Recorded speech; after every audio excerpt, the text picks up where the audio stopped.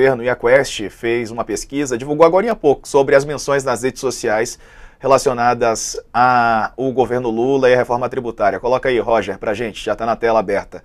O Felipe Nunes tweetou, vocês pediram e a Quest atendeu. Analisamos 5 milhões e 300 mil menções sobre a reforma tributária em três redes, Twitter, Facebook e Instagram.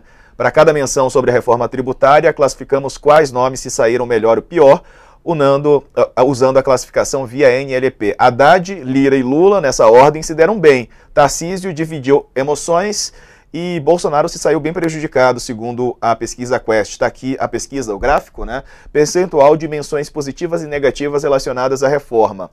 Haddad, 78% de menções positivas, 22% negativas. Lira, 63% positivas, 37% negativas. Lula, 58% positivas, 42% negativas.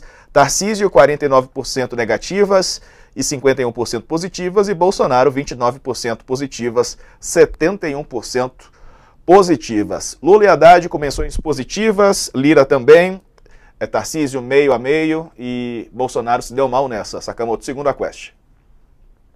Então, eu fatos. até.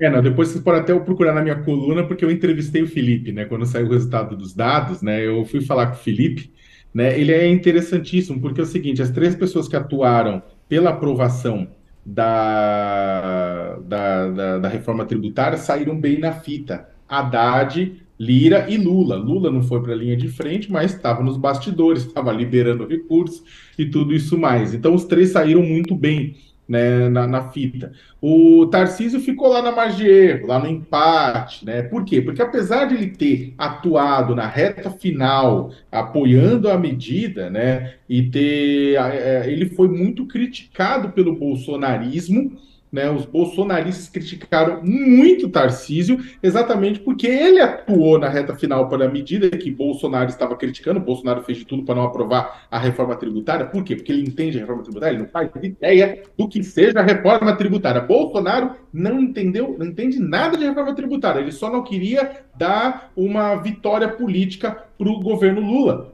Né? Então, o que acontece? Ele foi e atacou né, uma coisa que, inclusive, o PIB brasileiro, que ele vive elogiando, o PIB brasileiro ficou bravo com o Bolsonaro porque ele atacou a, a, o projeto que estava todo mundo querendo aprovar há 30 anos. Então, o, o Tarcísio foi muito atacado por de, defender a reforma, né? E aí o bolsonarismo foi para cima. Então você tem metade das menções positivas, metade negativa. Agora, o grande vencedor, quem foi atropelado? Jair Bolsonaro foi atropelado nessa questão da reforma tributária. Na, na rede social, Bolsonaro foi, atropelado. Segundo a Quest, ele teve só 29% de menções positivas e 71% de menções negativas, né? Basicamente porque Jair Bolsonaro ficou, ficou é, contrário e, e, batendo de frente, inclusive, com antigos apoiadores dele, não só o Tarcísio, tinha muita gente que queria ver a reforma aprovada e acabou, é, e acabou, na verdade, se colocando no, lugar, no lado contrário de Bolsonaro, simplesmente por oportunismo político. O Felipe, só para terminar,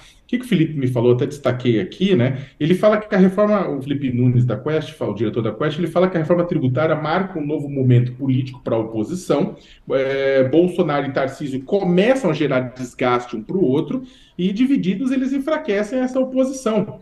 Unidos podem construir uma oposição forte ao governo e vão precisar um do outro para terem sucesso no curto, médio e longo prazo, né? Ou seja, o futuro de Tarcísio de, de Bolsonaro estão, está conectado. Então não adianta brigar muito porque eles precisam um do outro.